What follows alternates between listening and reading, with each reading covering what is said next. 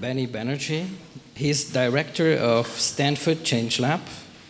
This is a platform that is generating new theories and processes to drive transformations where scale, complexity, and urgency are critical.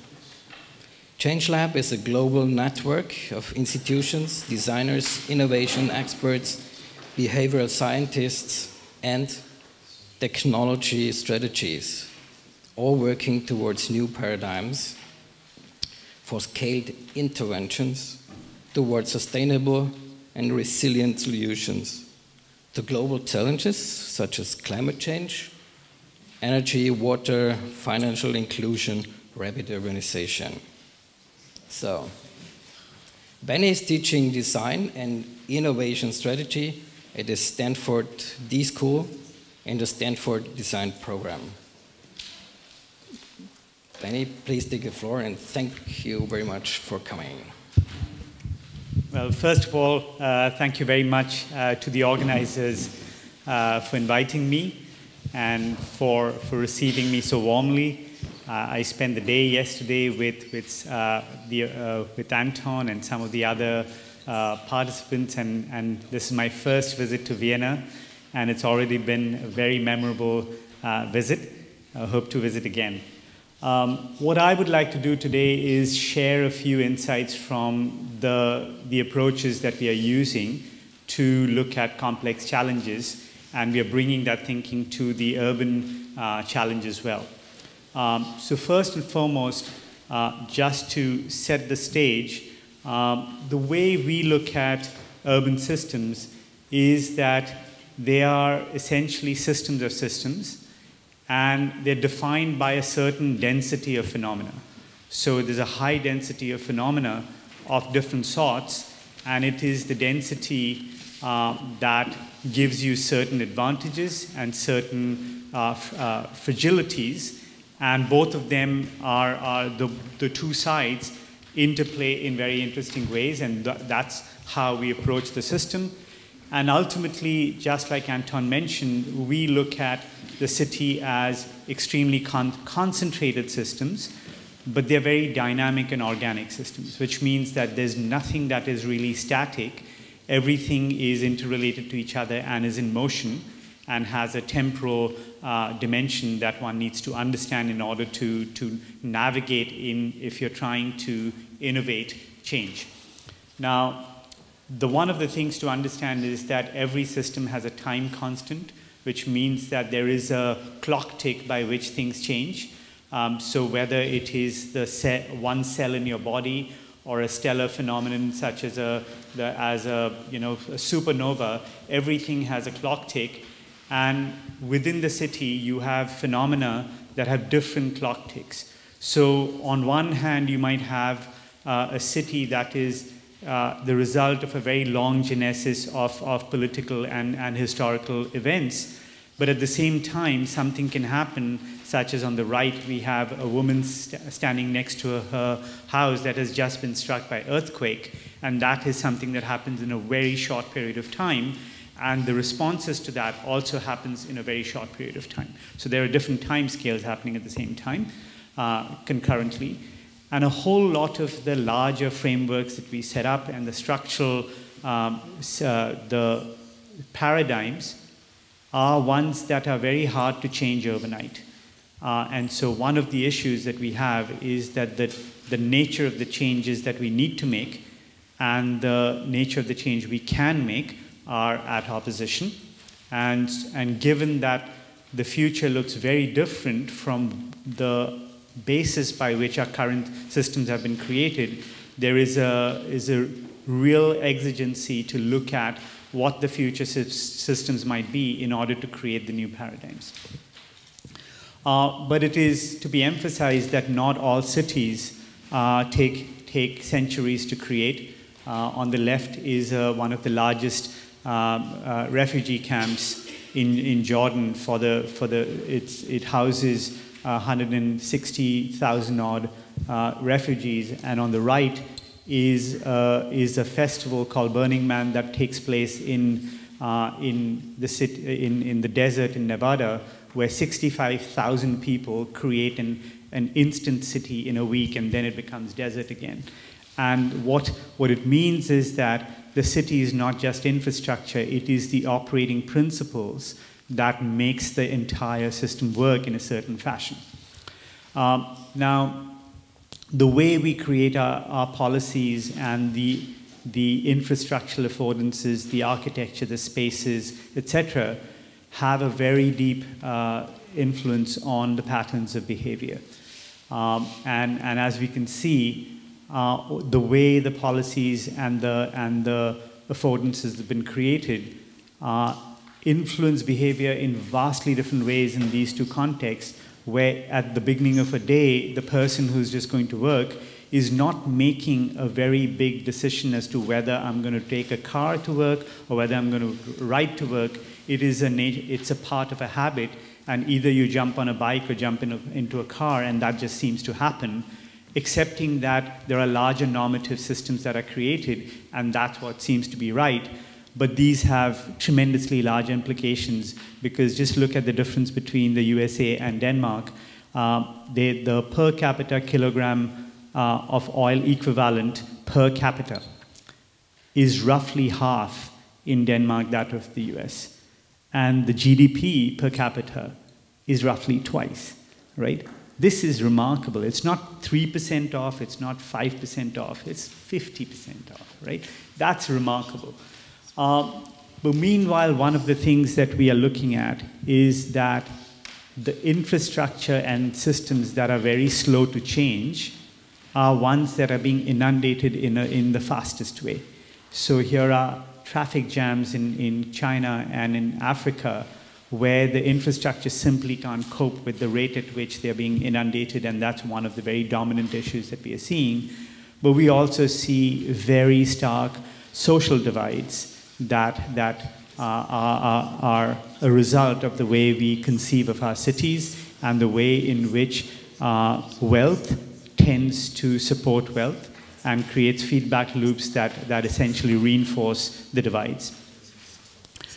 But at an implicit level, we are also replacing one kind of complexity with another kind of complexity, and it's easy to essentially have a perceptual lens where if we are dealing with the issue of urbanization, we are dealing, we think only of urban issues, but we are in a larger context where ultimately every city that we have uh, has replaced something that was not a city. And, and in, the, in, the, in the time span of, of the cr critical systems that keep our civilization alive, the changes happen in a microsecond. And so we need to keep this into the back of our mind that there is a certain function that we are dependent on, that we are stealing in replacing, replacing nature with cities, and, and, and our perceptual lenses need to account for that. But the other thing, of course, what Anton mentioned, is that there are things that are difficult to, to essentially see, which are the implicit impact one is making. So Malcolm Wells called it death by abstraction. And that was a warning to, to designers saying that you are on a, on a tracing paper and you you have a pencil in your hand.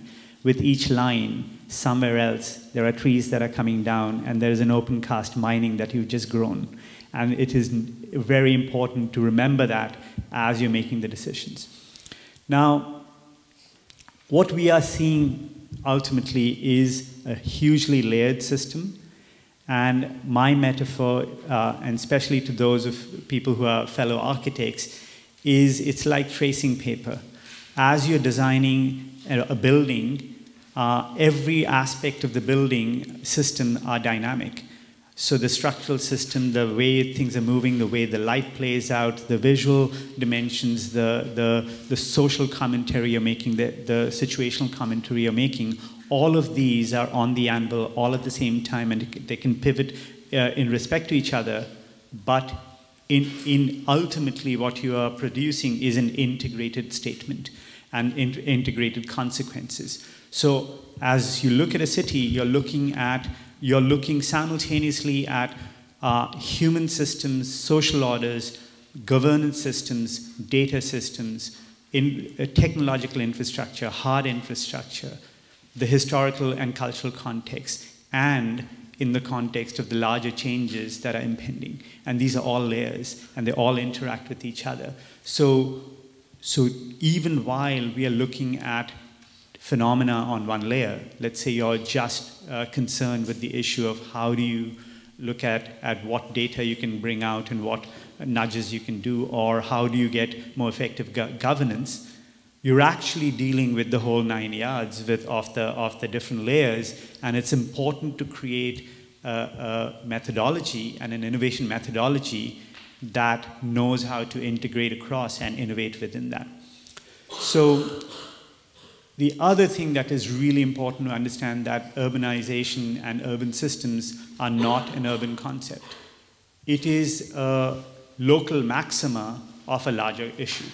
So the reason why people move into the cities are not just a city issue. It's a regional issue, it's a national issue. It is the number of jobs or the food situation or the landholding situations elsewhere that lead people to move into the city and to populate the cities. And they look at those higher densities of phenomena as attractors to move in. So if you are to solve the issues or address the issues of the urban systems in the future, one way is to just look at it from the supply side of the equation, saying, let the changes happen, we'll deal with the changes. The other way is to also look at it from the demand side of the equation, saying we will actually prevent some of those things from happening in the first place by addressing the larger issue. And that goes to dealing with national policies and, and also very large behavioral issues. So, so just to put it in perspective, the kind of growth projections we are seeing is currently we have crossed the 50% margin in, in how many people live in urban, urban cities. And this is an earth shattering fact, right? It didn't used to be this way. We crossed the 50% mark not too many years ago. It was only about three or four years ago that we crossed the 50% mark. And it's a, something to just stop and think about. Well, what is going to happen in the next uh, 30 years or so is that a very large number of uh, people, a large fraction of the people in a much larger population is going to live in, in urban areas. And we are going to add 2.5 billion people. Now, just to put that in perspective, it took us from the beginning of time to somewhere in the early 1800s to get to the first billion, right? So we're going to add twice of that, two and a half times that to our cities. But 90% of that growth is going to take place in Africa and India. And we're, we're going to have 41 plus megacities, and megacities are 10 million plus cities in, in that time frame, a large number of them in Africa and India, right? So the big question is how do we sustain this? How do we meet the, the demands of the basic resources? And how do we look at growth or, or the advancement in integrated ways towards our biggest challenges? And so if you look at, take a few steps back and look at what are the biggest challenges, first and foremost, we have resource limiters. We have the food, water, energy nexus, which is uh, in, in tremendous threat.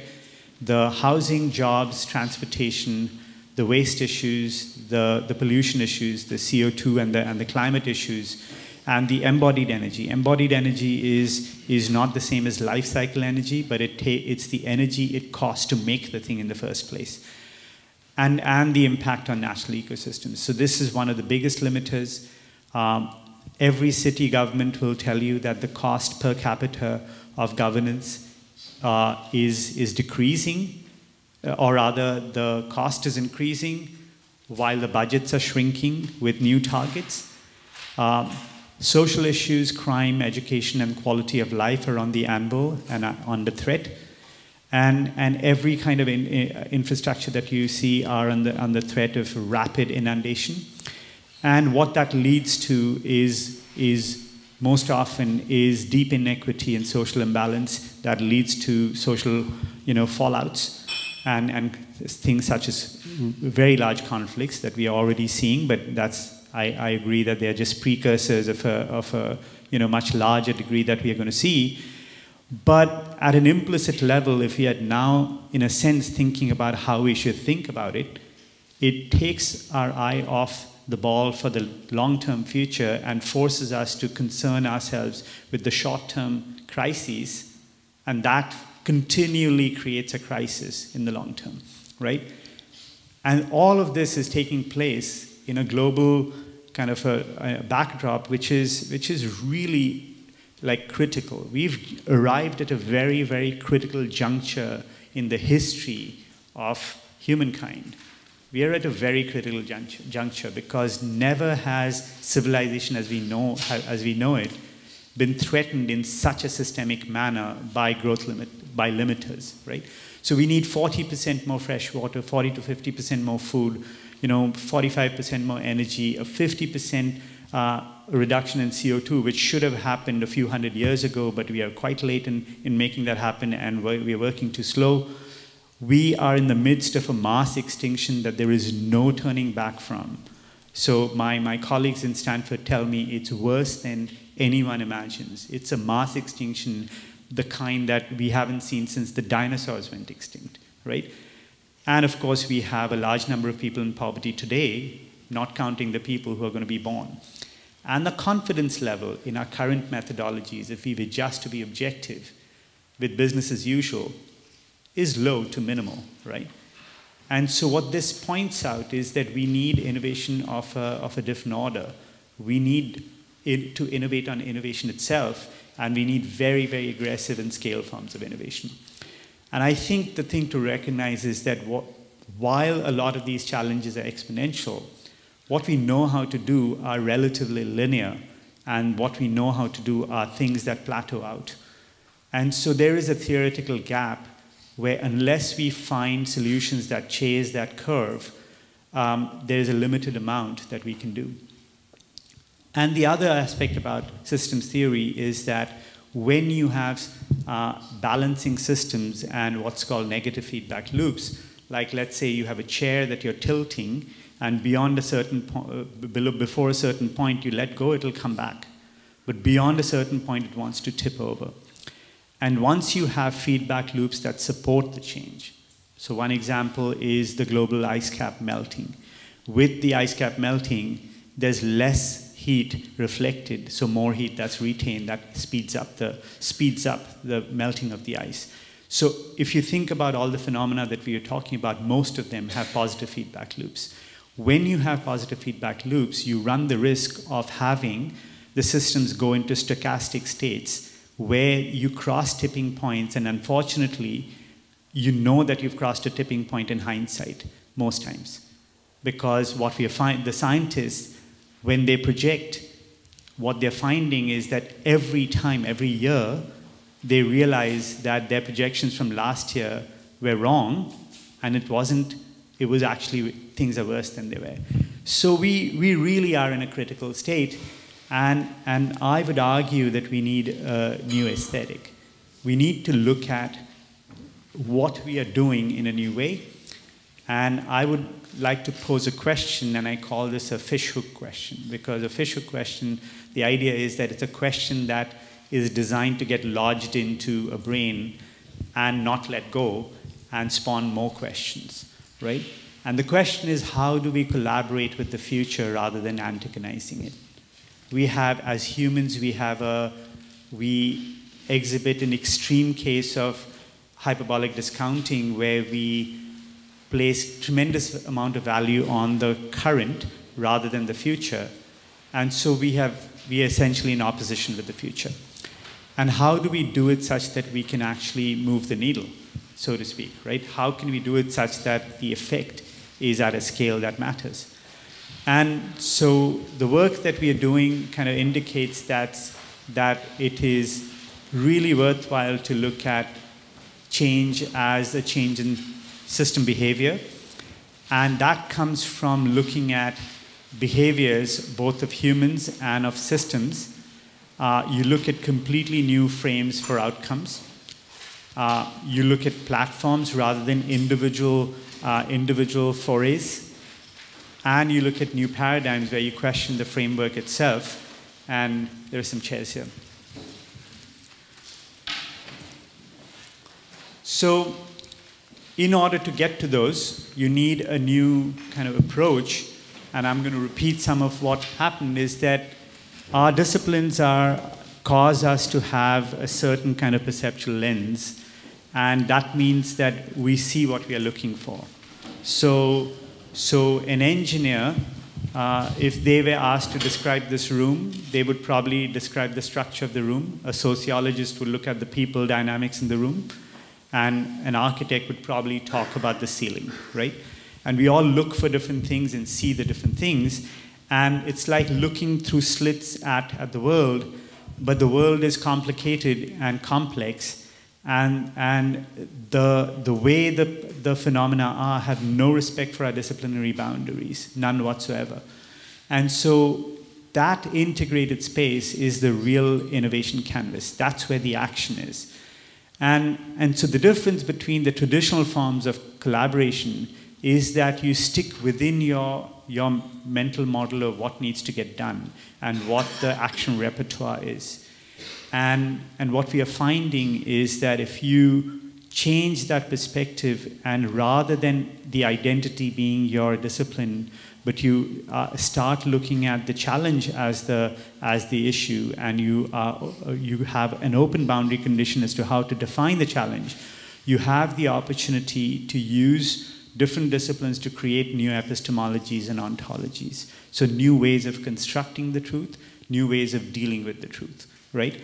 And essentially what you're getting is this, you having, you're, what you're getting is disciplinary parallax. So the people on, with one perceptual lens will argue about the diameter of the circle, and the other field discipline is going to argue about what the rectangle is, but it takes the two to essentially see the larger reality.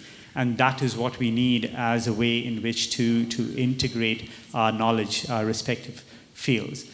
So what we are looking for is treating the system as a very integrated uh, human technological infrastructural governance system. But what the means are very few, little and the targets are very high.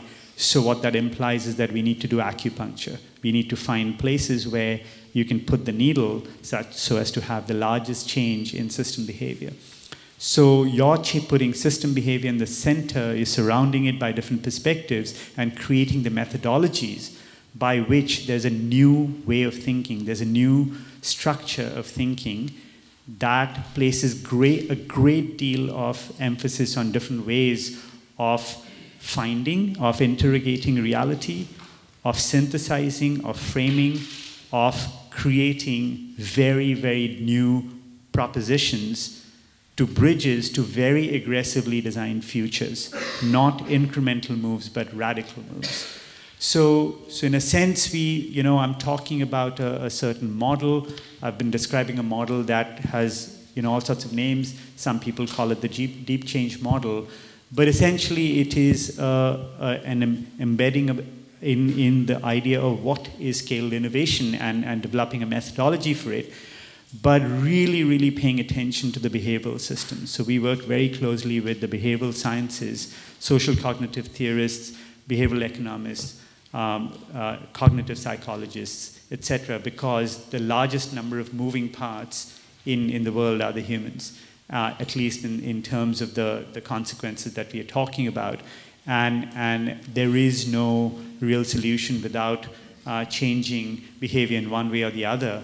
And in a sense, if you can uh, describe more than describe behavior, you can actually influence behavior, then behavior is no different from a technology. It is a technology. So, so the other thing is the way you think is, is take the ways designers and artists and, and, and people who do what's called abductive reasoning, which is different from, from, from, uh, from inductive and deductive logic, and, and essentially think in imaginative ways about systems and, and, and use resi resilience theory and learn from ecology, but not lose sight of the pragmatic. Use technology and business models and, and policy systems and market strategies because these are super useful in beating the time constant. this is, these are some of the ways in which you can actually beat the time constant. And, and ultimately, what you're creating is a perspective for multi outcome strategies. So, in, we have some criteria that I would like to show, uh, share. One of them is that we look at multiple time frames at the same time. We look at short term and long term, and instead of creating an opposition, we say we have to find innovations that meet both criteria. We don't restrict ourselves to one objective. We say what are the, the, the system is playing out and it has multiple, multiple outcomes. We're going to change the behavior of the system so that multiple outcomes are, are influenced at the same time. We're looking, going to look at the very intimate scale in the experience of a person in a single day, in a single moment, in a single context, all the way out to, to larger things and have them relate to each other. Uh, and, and essentially try to cut through the, the uh, trap, which is people who understand context, context really deeply, they tend not to understand the systemic issues. And people who are at the high level and, and know how the systemic issues, they're very removed from the context. And if you do things at the high level, they tend to crash and burn when you have a very large diversity in the context. So that becomes uh, a challenge about, about how do you look at that. And ultimately, you're looking at multiple stakeholders with multiple motivations. So essentially, you're looking at multi-motivational fields, and that's how we look at things as well. And you're, you're not saying that there's one pathway that will solve it all. You're looking for a system of pathways that have synergies between them, and they, they create feedback loops between them. And ultimately, of course, you're also saying that the, this requires different kinds of epistemologies, different kinds of thinking, and you're essentially allowing those to coexist with a, with a, with a sense of plurality which is, is deplorably missing in our current thinking. So we are very partisan in our thinking, and it is because we are so divisive and we are so deterministic that so many of our problems go unsolved. And ultimately, I'll, I'll, mention again that there is a way of thinking in platforms rather than individual uh, interventions that can, can actually lead to scale, not that individual interventions don't have their place.